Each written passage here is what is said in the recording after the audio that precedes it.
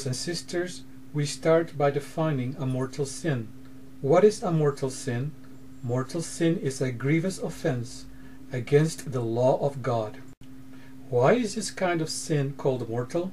This sin is called mortal because it deprives us of spiritual life, which is sanctifying grace, and brings everlasting death and damnation on the soul.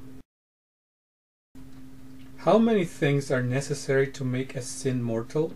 To make a sin mortal, three things are necessary a grievous matter, sufficient reflection, and full consent of the will. What do we mean by grievous matter with regard to sin?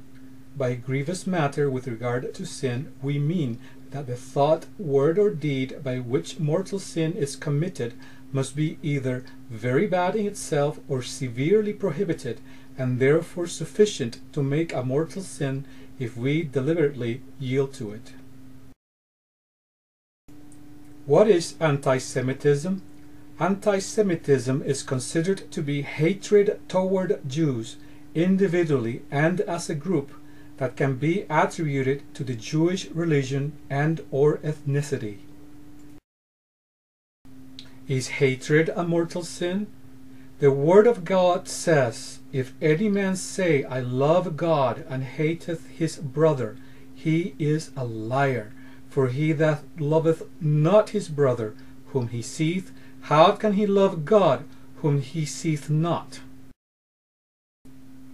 Therefore, if anti-Semitism is a form of racial or religious hatred, and hatred against a brother, a fellow human being made in the image and likeness of God, is a grievous matter, then anti-Semitism is a mortal sin.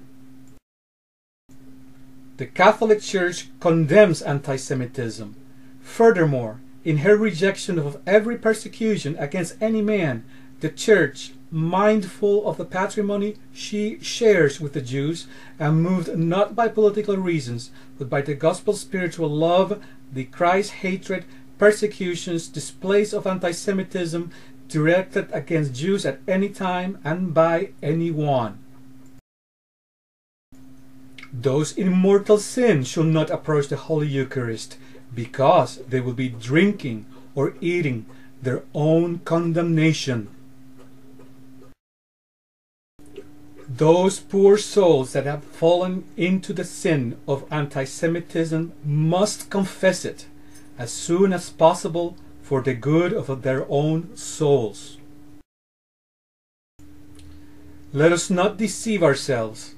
Those who hate the Jewish people, or attack their individual or group dignity, or disparage, denigrate, or defame their honor or their beliefs, or who advocate their suppression, assimilation, or separation on account of their ethnicity or religion, sin mortally against God and against man.